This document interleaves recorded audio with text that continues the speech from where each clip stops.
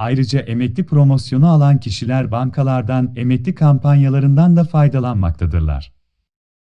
Sizler de eğer emekli maaşı alıyorsanız ve bu emekli maaşları promosyon almak istiyorsanız bankadan sözleşme yaparak 3 yıllık taahhüt vermeniz gerekmektedir. SGK ve bankalar arasında yapılan bu anlaşmada sözleşme yapan herkes bu parayı alabilecektir. 2017 Mart ayında başlayan bu kampanya, 2020 Mart ayında 3 yıl olmuştur.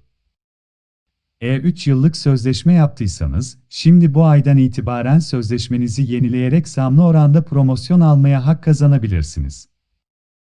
En yüksek promosyon hangi bankada?